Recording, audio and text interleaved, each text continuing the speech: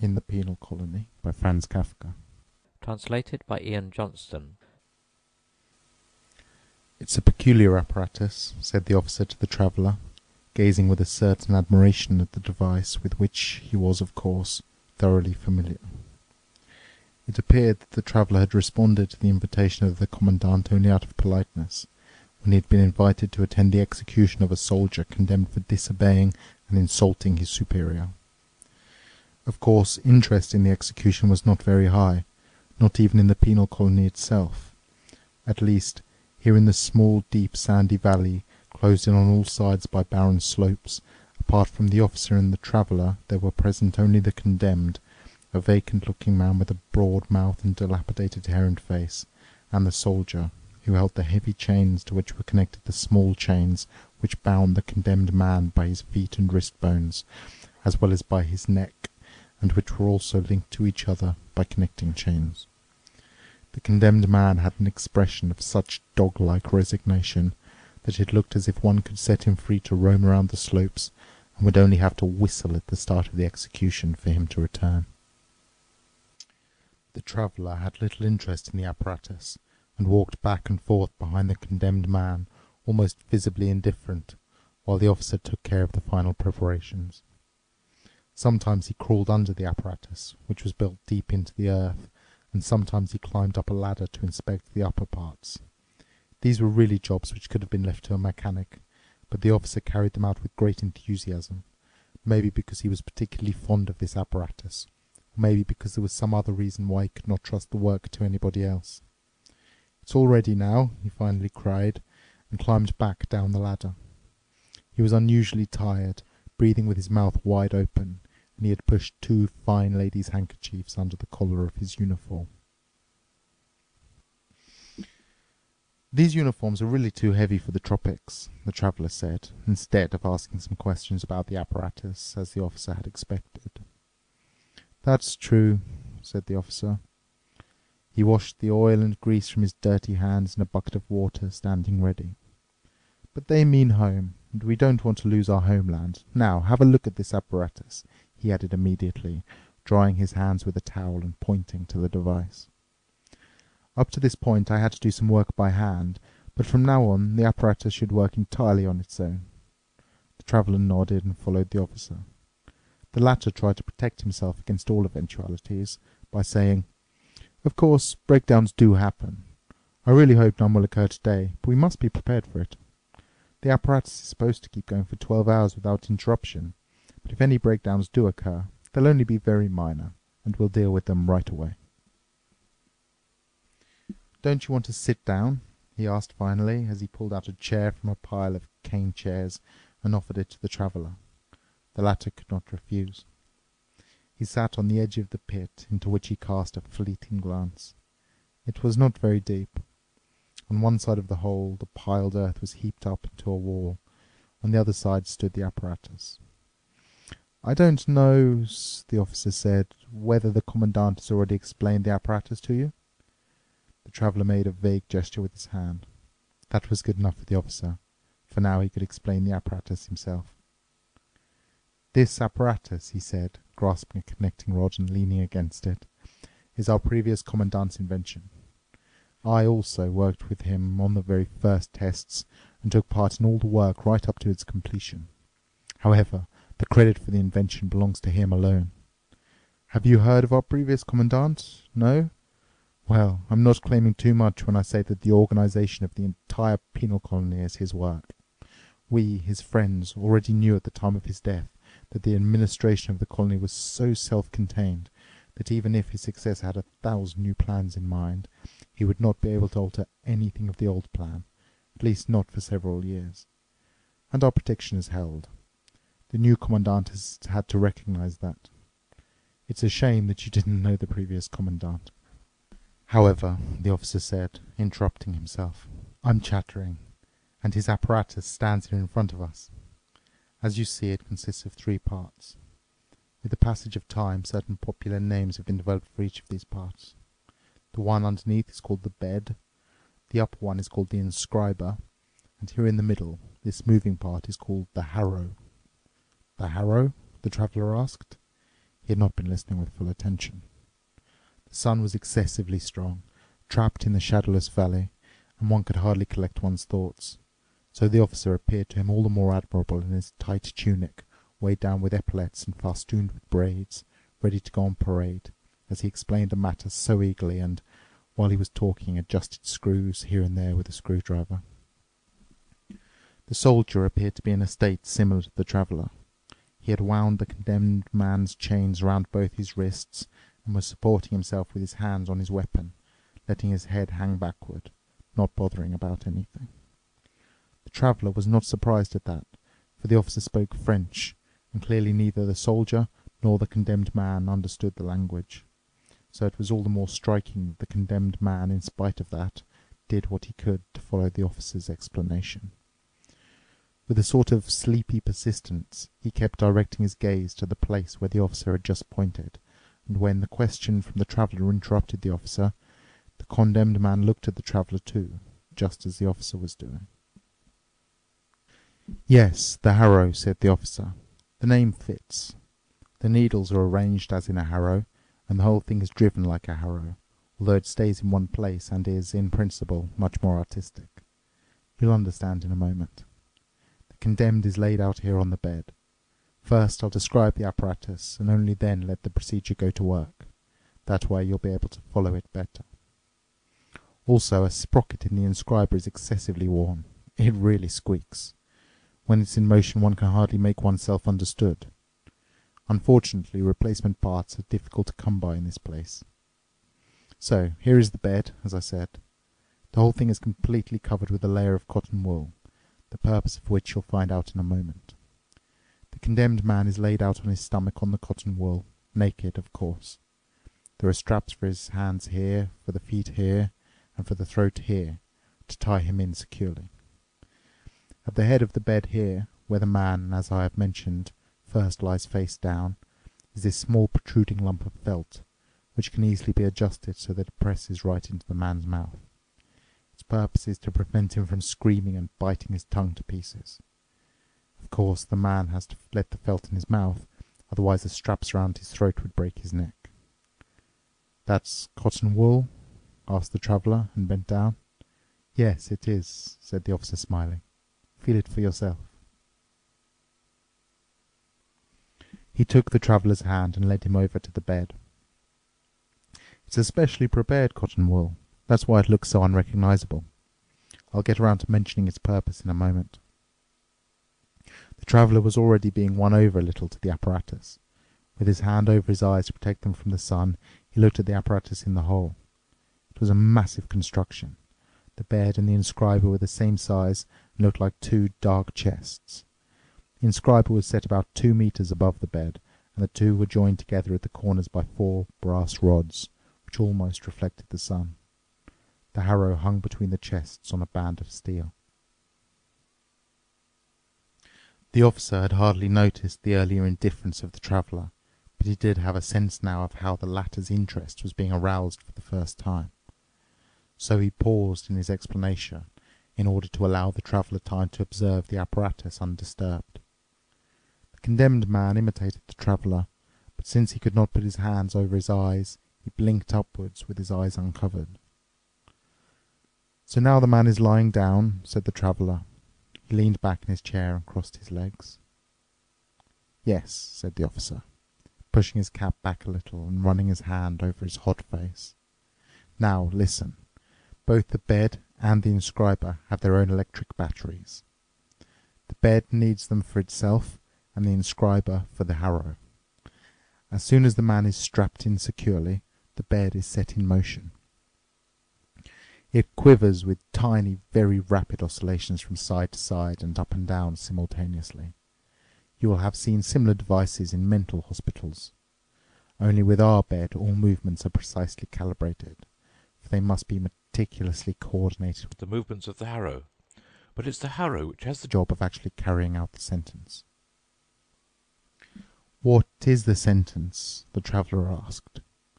You don't even know that? asked the officer in astonishment, and bit his lip. Forgive me if my explanations are perhaps confused. I really do beg your pardon. Previously it was the Commandant's habit to provide such explanations, but the new Commandant has excused himself from this honourable duty. The fact that, with such an eminent visitor, the traveller tried to deflect the honour with both hands, but the officer insisted on the expression, that with such an eminent visitor he didn't even once make him aware of the form of our sentencing, is yet again something new which... He had a curse on his lips, but controlled himself, and said merely, I was not informed about it. It's not my fault. In any case, I am certainly the person best able to explain our style of sentencing, for here I am carrying"—he patted his breast pocket—"the relevant diagrams drawn by the previous Commandant." "Diagrams made by the Commandant himself?" asked the Traveller. "Then was he in his own person a combination of everything? Was he a soldier, judge, engineer, chemist, and draughtsman?" "He was indeed," said the Officer, nodding his head with a fixed and thoughtful expression. Then he looked at his hands, examining them. They didn't seem to him clean enough to handle the diagrams, so he went to the bucket and washed them again. Then he pulled out a small leather folder and said, "Our sentence does not sound severe. The law which a condemned man has violated is inscribed on his body with the harrow. This condemned man, for example," and the officer pointed to the man, "will have inscribed on his body, 'Honour your superiors. The Traveller had a quick look at the man. When the Officer was pointing at him the man kept his head down, and appeared to be directing all his energy into listening, in order to learn something. But the movements of his thick, pouting lips showed clearly that he was incapable of understanding anything.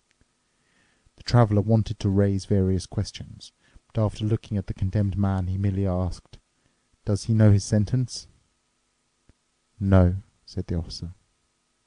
He wished to get on with his explanation right away, but the Traveller interrupted him. "He doesn't know his own sentence." "No," said the Officer once more. He then paused for a moment, as if he was asking the Traveller for a more detailed reason for his question, and said, "It would be useless to give him that information. He experiences it on his own body."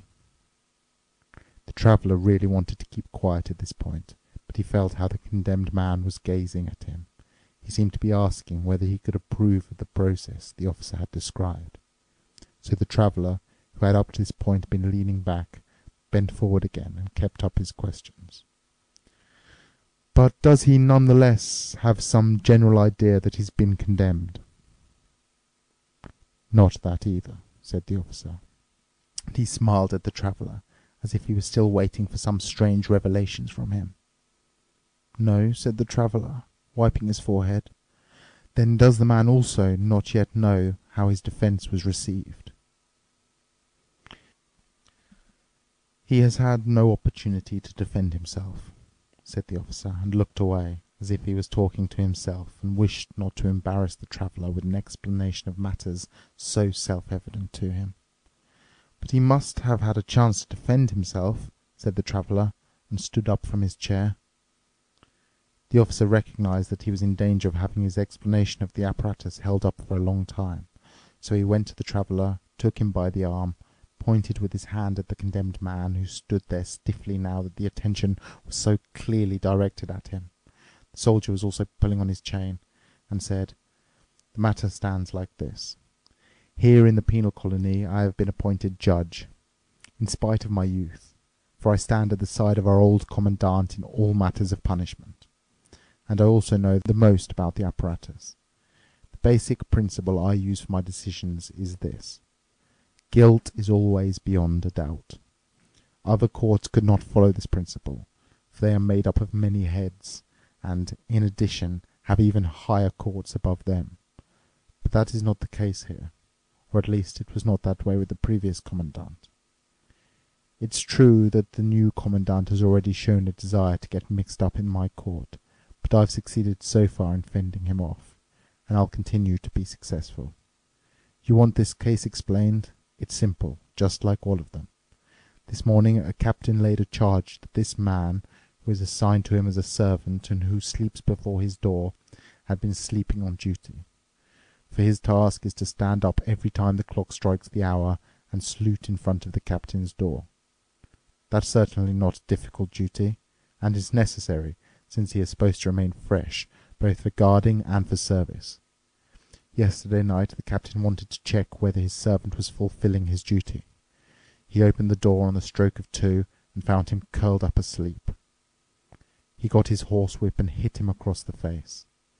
Now, instead of standing up and begging for his forgiveness, the man grabbed his master by the legs, shook him, and cried out, Throw away that whip or I'll eat you up. Those are the facts. The captain came to me an hour ago. I wrote up his statement, and right after that the sentence. Then I had the man chained up. It was all very simple. If I had first summoned the man and interrogated him, the result would have been confusion. He would have lied, and if I had been successful in refuting his lies, he would have replaced them with new lies, and so forth. But now I have him, and I won't release him again. Now, does that clarify everything? But time is passing. We should be starting the execution, and I haven't finished explaining the apparatus yet. He urged the traveller to sit down in his chair, moved the apparatus again, and started. As you see, the shape of the harrow corresponds to the shape of a man. This is the harrow for the upper body, and here are the harrows for the legs. This small cutter is the only one designated for the head. Is that clear to you? He leaned forward to the traveller in a friendly way, ready to give the most comprehensive explanation. The traveller looked at the harrow with a wrinkled frown. The information about the judicial procedures had not satisfied him. However, he had to tell himself that here it was a matter of a penal colony, that in this place special regulations were necessary, and that one had to give precedence to military measures right down to the last detail.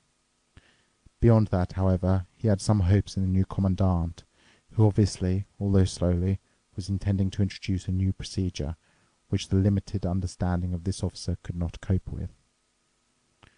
Following this train of thought, the traveller asked, Will the commandant be present at the execution? That is not certain, said the officer, embarrassingly affected by the sudden question, and his friendly expression made a grimace. That's why we need to hurry up. As much as I regret the fact, I'll have to make my explanation even shorter. But tomorrow, once the apparatus is clean again, fact that it gets so very dirty is its only fault. I could add a detailed explanation. So now, only the most important things. When the man is lying on the bed and it starts quivering, the harrow sinks into the body. It positions itself automatically in such a way that it touches the body only lightly with the needle tips. Once the machine is set in this position, the steel cable tightens up into a rod. And now the performance begins. Someone who is not an initiate sees no external difference among the punishments. The harrow seems to do its work uniformly. As it quivers, it sticks the tips of its needles into the body, which is also vibrating from the movement of the bed.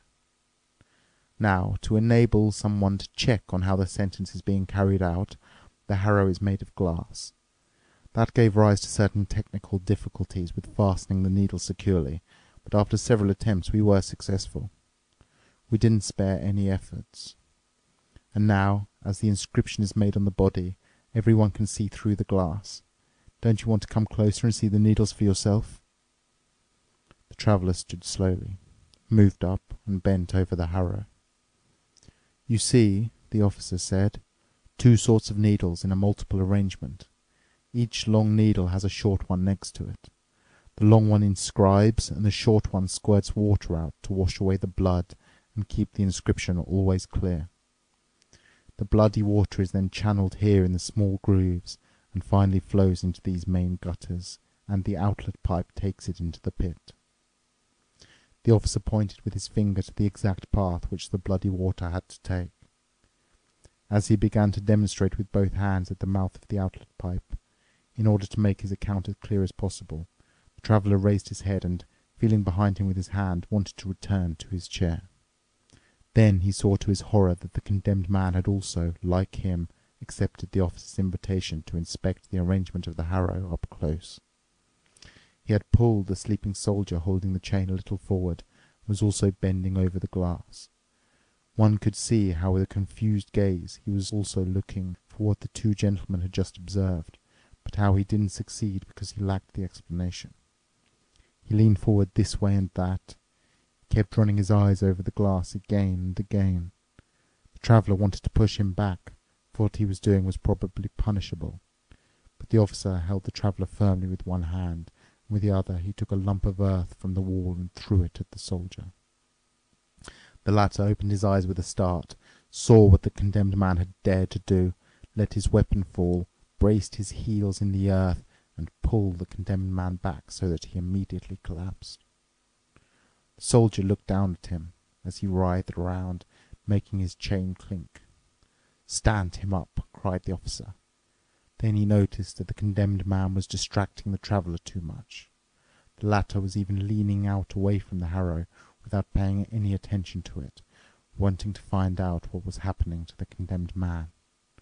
Handle him carefully, the officer yelled again.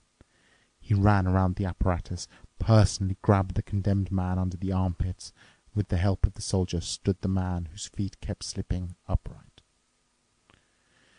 Now I know all about it, said the traveller, as the officer turned back to him again. Except the most important thing, said the latter, grabbing the traveller by the arm and pointing up high. There in the inscriber is the mechanism which determines the movement of the harrow and this mechanism is arranged according to the diagram on which the sentence is set down. I still use the diagrams of the previous commandant. Here they are. He pulled some pages out of the leather folder. Unfortunately, I can't hand them to you. They are the most cherished thing I possess. Sit down and I'll show you them from the distance. Then you'll be able to see it all well. He showed the first sheet. The traveller would have been happy to say something appreciative but all he saw was a labyrinthine series of lines crisscrossing each other in all sorts of ways. These covered the paper so thickly that only with difficulty could one make out the white spaces in between. Read it, said the officer. I can't, said the traveller. But it's clear, said the officer. It's very elaborate, said the traveller evasively, but I can't decipher it. Yes, said the officer, smiling and putting the folder back again. It's not calligraphy for school children. One has to read it a long time. You two will finally understand it clearly. Of course, it has to be a script that isn't simple. You see, it's not supposed to kill right away, but on average over a period of 12 hours. The turning point is set for the sixth hour. There must also be many, many embellishments surrounding the basic script. The essential script moves around the body only in a narrow belt. The rest of the body is reserved for decoration. Can you now appreciate the work of the harrow and the whole apparatus? Just look at it. He climbed up the ladder, turned a wheel, and called down. Watch out! Move to the side! Everything started moving.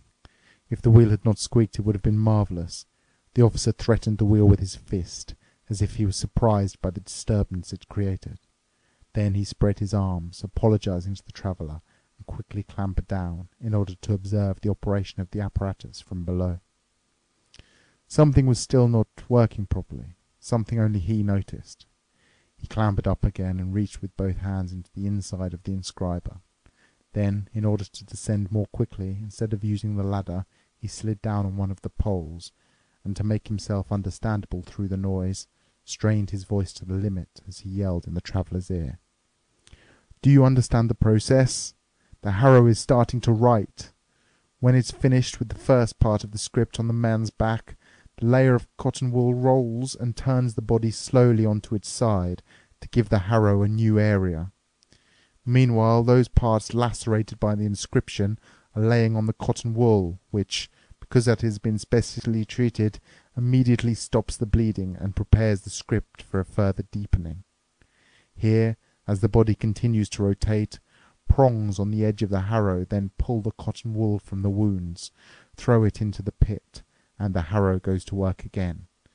In this way it keeps making the inscription deeper for twelve hours.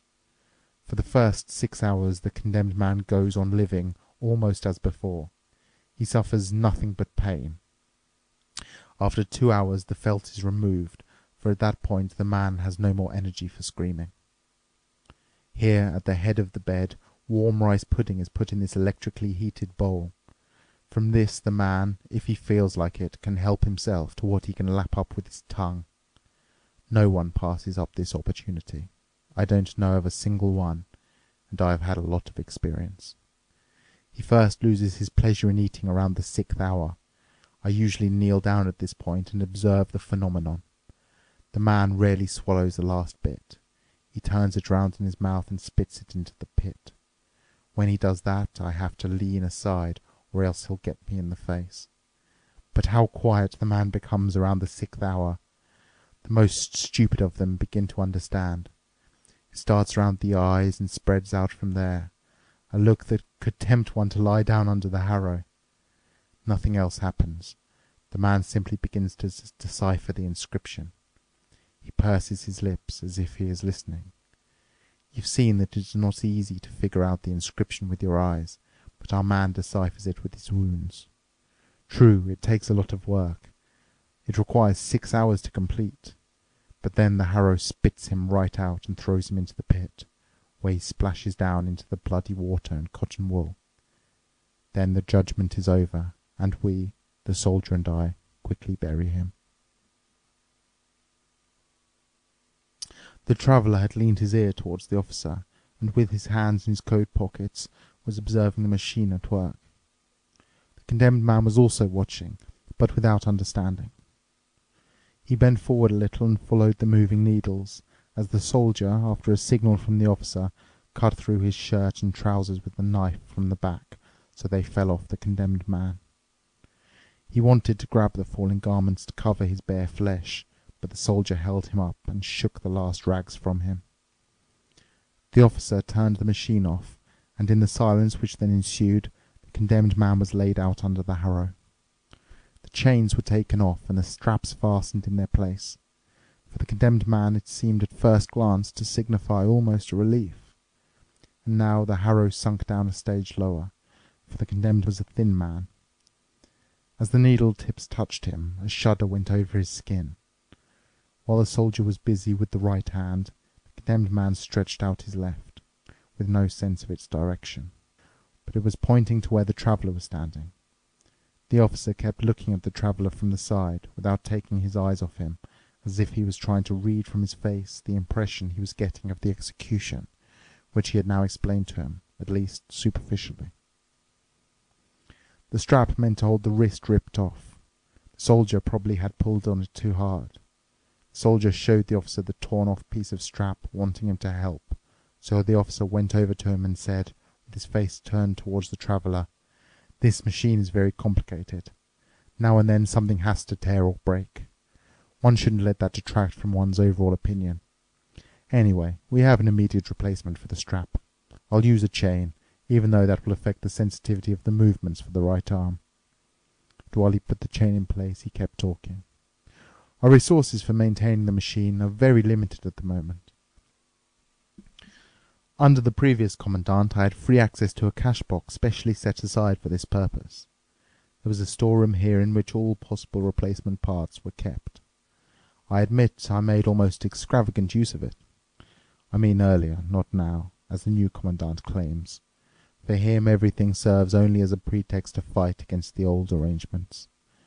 Now he keeps the cash box for machinery under his own control, and if I ask him for a new strap, he demands the torn one as a piece of evidence. New one doesn't drive for ten days, and it's an inferior brand, of not much use to me. But how am I supposed to get the machine to work in the meantime without a strap? No one's concerned about that. The traveller was thinking. It's always questionable to intervene decisively in strange circumstances. He was neither citizen of the penal colony nor a citizen of the state to which it belonged. If he wanted to condemn the execution, or even hinder it, people could say to him, You're a foreigner, keep quiet.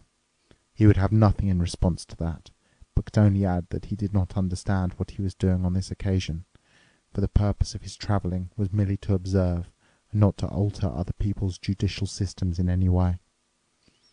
True, at this point, the way things were turning out, it was very tempting. The injustice of the process and the inhumanity of the execution were beyond doubt. No one could assume that the traveller was acting out of any sense of his own self-interest, for the condemned man was a stranger to him, not a countryman, and not someone who invited sympathy in any way. The traveller himself had letters of reference from high officials, and had been welcomed here with great courtesy. The fact that he had been invited to this execution even seemed to indicate that people were asking for his judgment of the trial. This was all the more likely since the Commandant, as he had now heard only too clearly, was no supporter of this process and maintained an almost hostile relationship with the officer. Then the traveller heard a cry of rage from the officer. He had just shoved the stub of felt in the condemned man's mouth, not without difficulty, when the condemned man, overcome by an irresistible nausea, shut his eyes and threw up. The officer quickly yanked him up off the stump and wanted to turn his head aside towards the pit, but it was too late. The vomit was already flowing down onto the machine. This is all the Commandant's fault, cried the officer, and mindlessly rattled the brass rods at the front. My machine is as filthy as a pigsty. With trembling hands he showed the traveller what had happened. Haven't I spent hours trying to make the Commandant understand that a day before the execution there should be no more food served? But the new lenient administration has a different opinion. Before the man is led away, the Commandant's women cram sugary things down his throat. His whole life he's fed himself on stinking fish, and now he has to eat sweets. But that would be all right, and I'd have no objections. But why don't they get a new felt? The way I've been asking him for three months now. How can anyone take this felt into his mouth without feeling disgusted? Something that a hundred men have sucked and bitten on as they were dying. The condemned man had laid his head down and appeared peaceful. The soldier was busy cleaning up the machine with the condemned man's shirt. The officer went up to the traveller, who, feeling some premonition, took a step backwards. But the officer grasped him by the hand and pulled him aside. I want to speak a few words to you in confidence, he said. May I do that? Of course, said the traveller, and listened with his eyes lowered. This process and execution, which you now have an opportunity to admire, have no more open supporters in our colony. I am its only defender, just as I am the single advocate for the legacy of the old commandant. I can no longer think about a more extensive organization of the process. I'm using all my powers to maintain what there is at present. When the old commandant was alive, the colony was full of his supporters. I have something of the old commandant's power of persuasion, but I completely lack his power, and as a result the supporters have gone into hiding. There are still a lot of them, but no one admits to it. If you go into a tea house today, that is to say, on a day of execution, and keep your ears open, perhaps you'll hear nothing but ambiguous remarks. They are all supporters, but under the present commandant, considering his present views, they are totally useless to me. And now I'm asking you, should such a life's work, he pointed to the machine, come to nothing because of this commandant and the women influencing him? Should people let that happen? Even if one is a foreigner and only on our island for a couple of days. But there's no time to lose. People are already preparing something against my judicial proceedings. Discussions are already taking place in the Commandant's headquarters, to which I am not invited. Even your visit today seems to me typical of the whole situation. People are cowards and send you out, a foreigner. You should have seen the execution in the earlier days. The entire valley was overflowing with people, even a day before the execution. They all came merely to watch. Early in the morning the Commandant appeared with his women. Fanfares woke up the entire campsite. I delivered the news that everything was ready. The whole society, and every high official had to attend, arranged itself around the machine. This pile of cane chairs is a sorry leftover from that time. The machine was freshly cleaned and glowed. For almost every execution I had new replacement parts. In front of hundreds of eyes, all the spectators stood up on tiptoe, right up to the hills there condemned man was laid down under the harrow by the commandant himself. What nowadays is done by a common soldier was then my work as the senior judge, and 'twas an honour for me. And then the execution began. No discordant note disturbed the work of the machine. Many people did not look any more at all, but lay down with closed eyes in the sand. They all knew. Now justice was being carried out. In silence people listened to nothing but the groans of the condemned man, muffled by the felt. These days the machine no longer manages to squeeze a strong groan out of the condemned man, something the felt is not capable of smothering. But back then the needles which made the inscription dripped a caustic liquid which we are not permitted to use any more today. Well, then came the sixth hour. It was impossible to grant all the requests people made to be allowed to watch from up close. Commandant in his wisdom arranged that the children should be taken care of before all the rest. Naturally I was always allowed to stand close by, because of my official position. Often I crouched down there with two small children in my arms on my right and left. How we all took in the expression of transfiguration on the martyred face, how we held our cheeks in the glow of this justice, finally attained and already passing away. What times we had, my friend. The officer had already forgotten who was standing in front of him. He had put his arm around the traveller and laid his head on his shoulder. The traveller was extremely embarrassed. Impatiently he looked away over the officer's head. The soldier had ended his task of cleaning and had just shaken some rice pudding into the bowl from a tin. No sooner had the condemned man, who seemed to have fully recovered already, noticed this than his tongue began to lick at the pudding.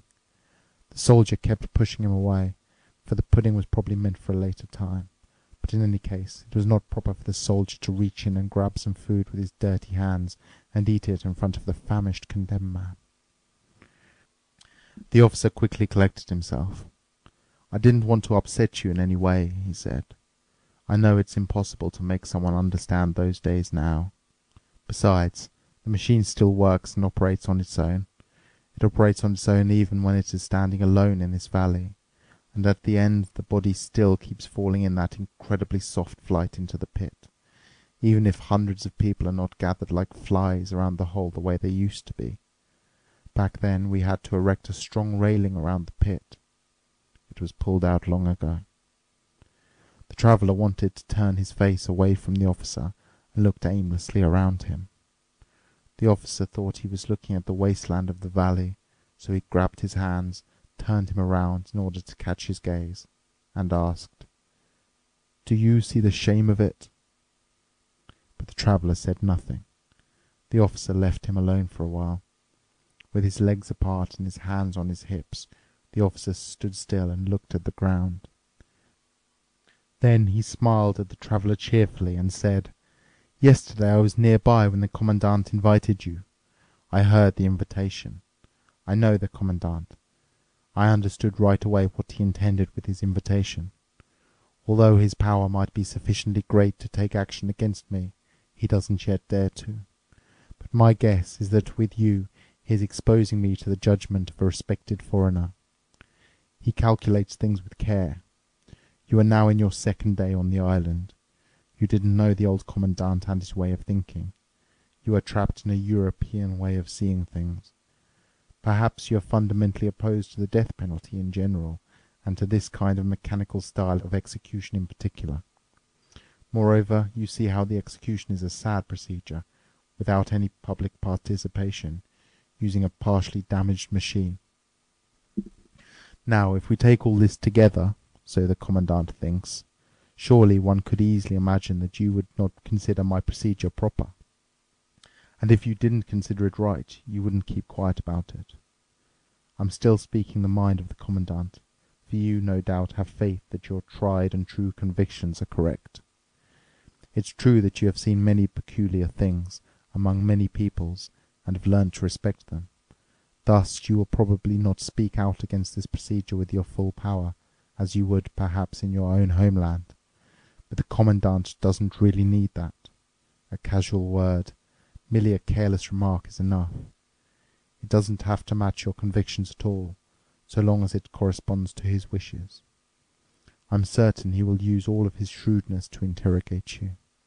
And his women will sit round in a circle and perk up their ears.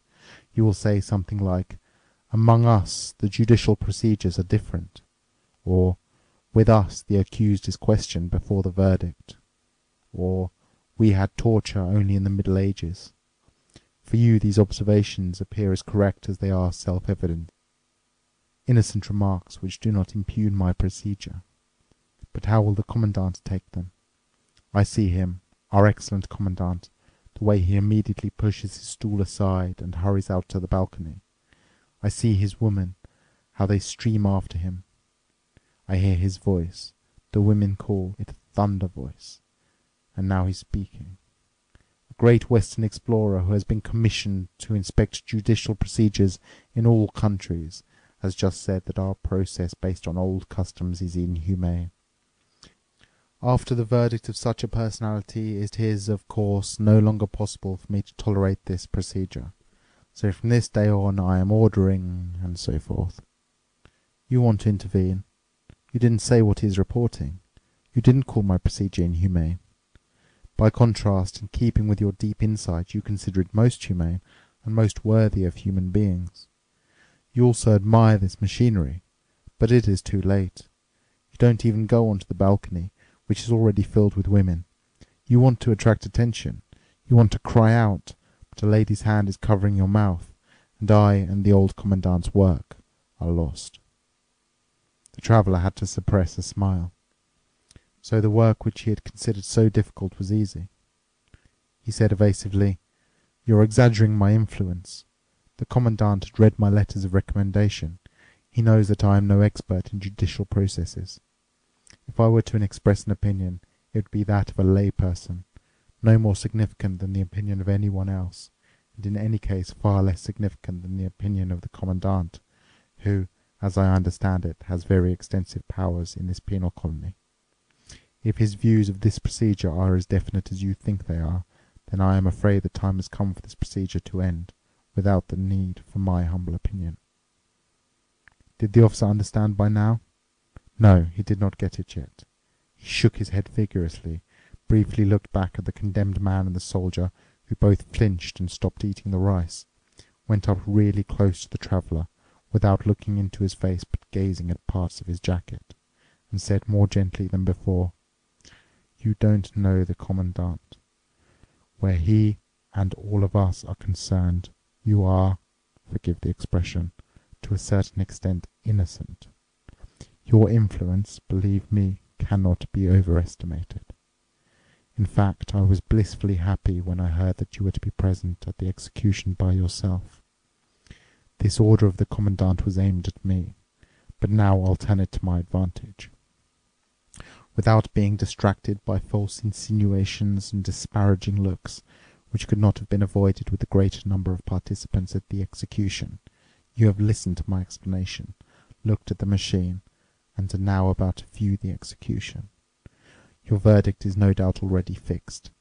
If some small uncertainties remain, witnessing the execution will remove them. And now I'm asking you, help me with the Commandant. The traveller did not let him go on talking. How can I do that? he cried. It's totally impossible. I can help you as little as I can harm you. You could do it, said the officer. With some apprehension the traveller observed that the officer was clenching his fists. You could do it, repeated the officer, even more emphatically. I have a plan which must succeed. You think your influence is insufficient. I know it will be enough. But assuming you're right, doesn't saving this whole procedure require one to try even those methods which may be inadequate? So listen to my plan. To carry it out it's necessary, above all, for you to keep as quiet as possible today in the colony about your verdict on this procedure. Unless someone asks you directly, you should not express any view whatsoever. But what you do say must be short and vague. People should notice that it is difficult for you to speak about the subject, that you feel bitter, that, if you were to speak openly, you'd have to burst out cursing on the spot. I'm not asking you to lie, not at all. You should only give brief answers, something like, Yes, I've seen the execution, or Yes, I've heard the full explanation. That is all nothing further. For that will be enough of an indication for people to observe in you a certain bitterness. Even if that's not what the Commandant will think, naturally he will completely misunderstand the issue and interpret it in his own way. My plan is based on that. Tomorrow a large meeting of all the higher administrative officials takes place at the headquarters under the chairmanship of the Commandant. He, of course, understands how to turn such a meeting into a spectacle. A gallery has been built, which is always full of spectators. I am compelled to take part in the discussions, though they fill me with disgust. In any case, you will certainly be invited to the meeting. If you follow my plan today and behave accordingly, the invitation will become an emphatic request. But should you, for some inexplicable reason, still not be invited, you must make sure you request an invitation. Then you will receive one without question. Now, tomorrow you are sitting with the women in the commandant's box. With frequent upward glances he reassures himself that you are there. After various trivial and ridiculous agenda items designed for the spectators, mostly harbour construction, always harbour construction, the judicial process comes up for discussion. If it's not raised by the commandant himself or does not occur soon enough, I'll make sure that it comes up. I'll stand up and report on today's execution.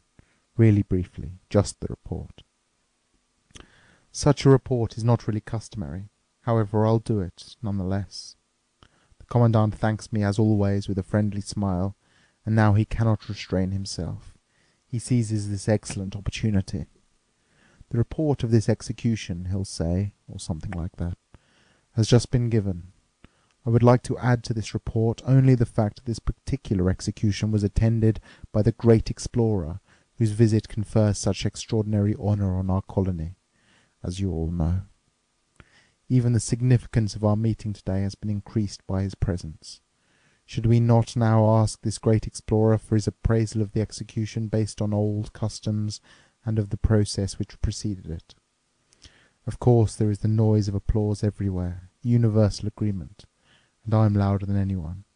The Commandant bows before you and says, Then, in everyone's name, I'm putting the question to you. And now you step up to the railing.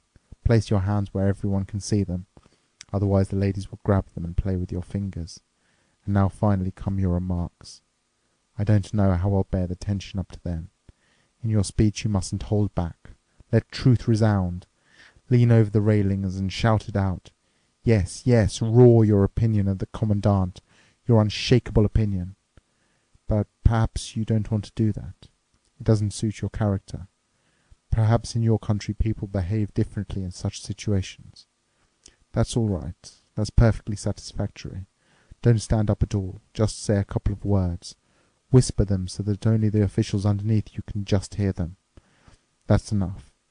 You don't even have to say anything at all about the lack of attendance at the execution, or about the squeaky wheel, the torn strap, the disgusting felt. No, I'll take over all the further details, and believe me, if my speech doesn't chase him out of the room, it'll force him to his knees, so he'll have to admit it. Old Commandant, I bow down before you. That's my plan. Do you want to help me carry it out? But of course you want to. More than that, you have to. And the officer gripped the traveller by both arms and looked at him, breathing heavily into his face. He had yelled the last sentences so loudly that even the soldier and the condemned man were paying attention. Although they couldn't understand a thing, they stopped eating and looked over at the traveller, still chewing. From the start the traveller had had no doubt about the answer he must give. He had experienced too much in his life to be able to waver here. Basically he was honest and unafraid. Still, with the soldier and the condemned man looking at him, he hesitated a moment, but finally he said, as he had to, No.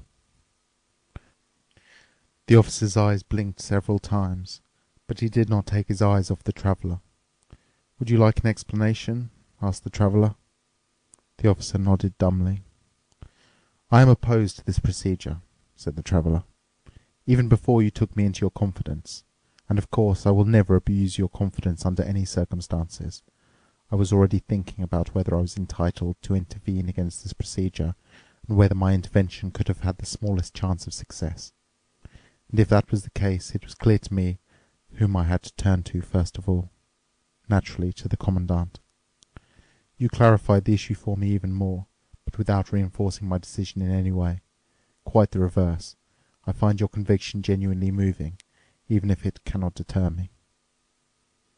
The officer remained quiet, turned towards the machine, grabbed one of the brass rods, and then, leaning back a little, looked up at the inscriber, as if he was checking that everything was in order. The soldier and the condemned man seemed to have made friends with each other. The condemned man was making signs to the soldier, although given the tight straps on him, this was difficult for him to do. The soldier was leaning into him. The condemned man whispered something to him, and the soldier nodded. The traveller went over to the officer and said, You don't yet know what I'll do. Yes, I will tell the Commandant my opinion of this procedure. Not in a meeting, but in private. In addition, I won't stay here long enough to be able to get called to some meeting or other. Early tomorrow morning I leave.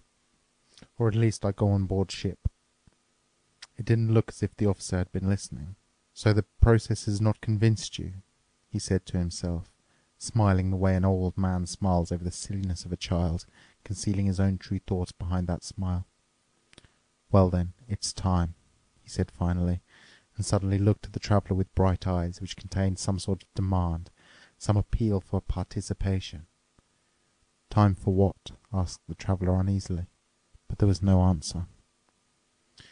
You are free, the officer told the condemned man in his own language. At first the man did not believe him. You are free now, said the officer. For the first time the face of the condemned man showed signs of real life. Was it the truth? Was it only the officer's mood which could change? Had the foreign traveller brought him a reprieve? What was it? That's what the man's face seemed to be asking. But not for long. Whatever the case might be, if he could, he wanted to be truly free, and he began to shake back and forth as much as the harrow permitted. You're tearing my straps, cried the officer. Be still, we'll undo them right away. And giving a signal to the soldier, he set to work with him The condemned man said nothing and smiled slightly to himself. He turned his face to the officer and then to the soldier and then back again, without ignoring the traveller. Pull him out, the officer ordered the soldier. This process required a certain amount of care because of the harrow. The condemned man already had a few small wounds on his back thanks to his own impatience. From this point on, however, the officer paid him hardly any attention. He went up to the traveller pulled out the small leather folder once more, leafed through it, finally found the sheet he was looking for, and showed it to the traveller. Read that, he said. I can't, said the traveller. I've already told you I can't read these pages. But take a close look at the page, said the officer, and moved up right next to the traveller in order to read with him. When that didn't help, he raised his little finger high up over the paper, as if the page must not be touched under any circumstances, so that using this he might make the task of reading easier for the traveller. The traveller also made an effort, so that at least he could satisfy the officer, but it was impossible for him. Then the officer began to spell out the inscription, and then read out once again the joined-up letters. Be just, it states, he said. Now you can read it. The traveller bent so low over the paper that the officer, afraid that he might touch it, moved it further away. The traveller didn't say anything more, but it was clear that he was still unable to read anything. Be just, it says, the officer remarked once again. That could be, said the traveller. I do believe that's written there. Good, said the officer, at least partially satisfied. He climbed up the ladder holding the paper. With great care he set the page in the inscriber and appeared to rotate the gear mechanism completely around. This was very tiring work. It must have required him to deal with extremely small wheels. He had to inspect the gears so closely that sometimes his head disappeared completely into the inscriber. The traveller followed his work from below without looking away. His neck grew stiff, and his eyes found the sunlight pouring down from the sky painful. The soldier and the condemned man were keeping each other busy. With the tip of his bayonet the soldier pulled out the condemned man's shirt and trousers, which were lying in the hole. The shirt was horribly dirty, and the condemned man washed it in the bucket of water. When he was putting on his shirt and trousers, the soldier and the condemned man had to laugh out loud, for the pieces of clothing were cut in two up the back. Perhaps the condemned man thought that it was his duty to amuse the soldier. In his ripped up clothes he circled around the soldier, who crouched down on the ground, laughed, and slapped his knees, but they restrained themselves out of consideration for the two gentlemen present. When the officer was finally finished up on the machine, with a smile he looked over the whole thing and all its parts one more time, and this time closed the cover of the inscriber, which had been open up to this point. He climbed down, looked into the hole, and then at the condemned man, observed with satisfaction that he had pulled out his clothes, then went to the bucket of water to wash his hands, recognized too late that it was disgustingly dirty, and was upset that now he couldn't wash his hands. Finally he pushed them into the sand.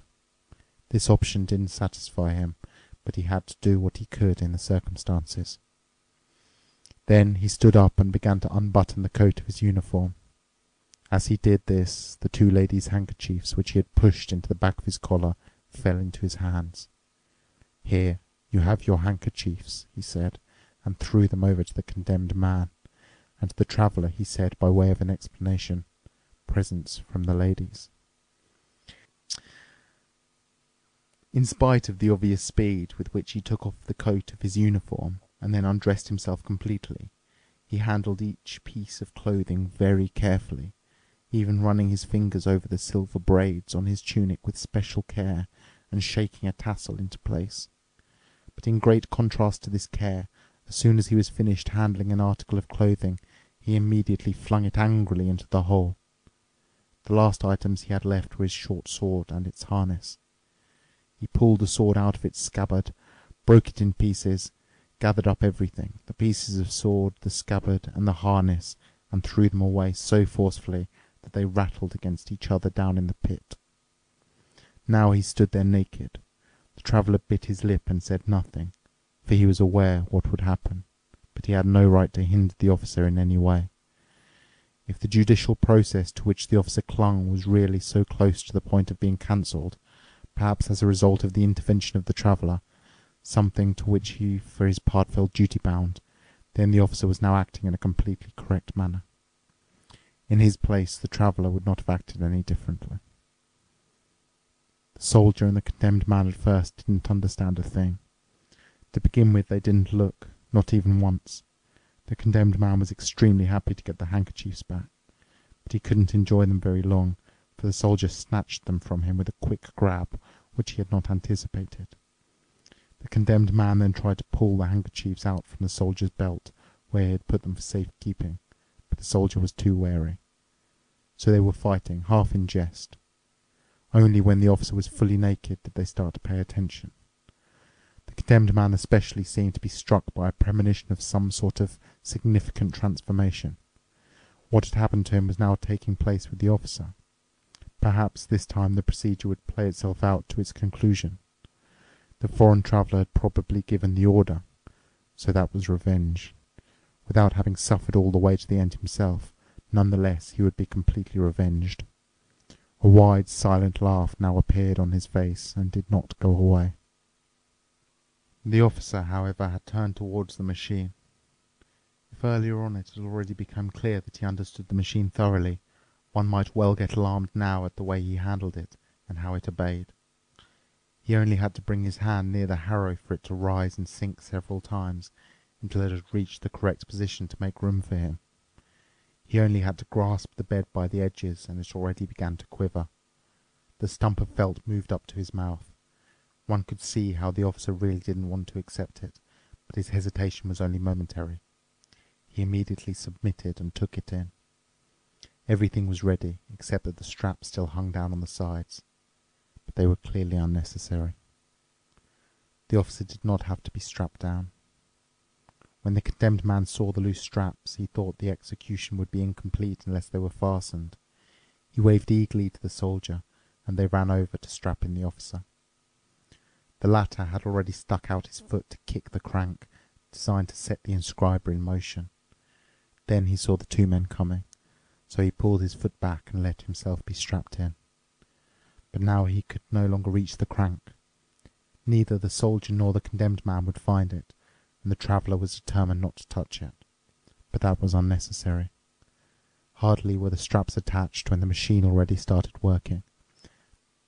The bed quivered, the needles danced on his skin, and the harrow swung up and down. The traveller had already been staring for some time before he remembered that a wheel in the inscriber was supposed to squeak, but everything was quiet without the slightest audible hum. Because of its silent working, the machine did not really attract attention. The traveller looked over at the soldier and the condemned man. The Condemned Man was the livelier of the two. Everything in the machine interested him. At times he bent down, at other times he stretched up, all the time pointing with his forefinger in order to show something to the soldier. For the Traveller it was embarrassing. He was determined to remain here until the end, but he could no longer endure the sight of the two men. Go home, he said. The soldier might have been ready to do that, but the condemned man took the order as a direct punishment. With his hands folded, he begged and pleaded to be allowed to stay there, and when the Traveller shook his head and was unwilling to give in, he even knelt down. Seeing that orders were of no help here, the Traveller wanted to go over and chase the two away. Then he heard a noise from up in the inscriber. He looked up. So was the gear wheel going out of alignment. But it was something else. The lid on the inscriber was lifting up slowly. Then it fell completely open. The teeth of a cogwheel were exposed and lifted up. Soon the entire wheel appeared. It was as if some huge force was compressing the inscriber, so there was no longer sufficient room for this wheel. The wheel rolled all the way down to the edge of the inscriber, fell down, rolled upright a bit in the sand, and then fell over and lay still. But already up on the inscriber another gear wheel was moving upwards. Several others followed, large ones, small ones, ones hard to distinguish. With each of them the same thing happened. One kept thinking that now the inscriber must surely be empty, then a new cluster with lots of parts would move up, fall down, roll in the sand, and lie still. With all this going on, the condemned man totally forgot the traveller's order. The gear wheels completely delighted him. He kept wanting to grab one, and at the same time he was urging the soldier to help him, but he kept pulling his hand back startled, for immediately another wheel followed, which at least in its initial rolling surprised him.